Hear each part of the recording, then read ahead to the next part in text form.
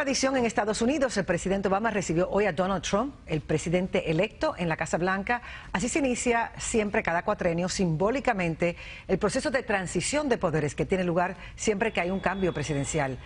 Trump llegó en su avión particular y cuando se reunió dijo que la conversación fue excelente y que confía en que ambos puedan trabajar juntos durante los próximos dos meses.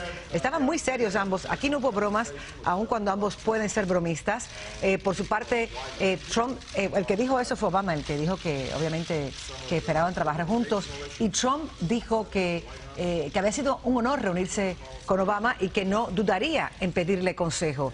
Eso pues le da un vuelco a la hubo entre ellos durante la campaña y durante mucho tiempo, porque como recuerdan, eh, durante años Donald Trump cuestionó el que eh, el presidente Obama naciera en los Estados Unidos, algo para lo cual tuvo que eventualmente pedir disculpas públicamente porque no fue cierto.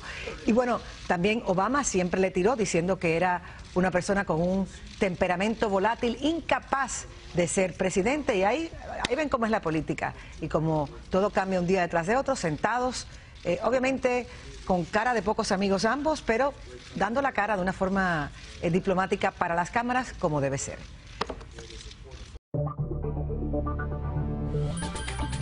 Cada vez que la vida nos estremece inesperadamente, nos damos cita e investigamos para que tú estés bien informado. En Arrojo Vivo estamos conectados con nuestra comunidad con sus necesidades y sus urgencias. A las 4, 3 Centro. Somos tu primer frente de información.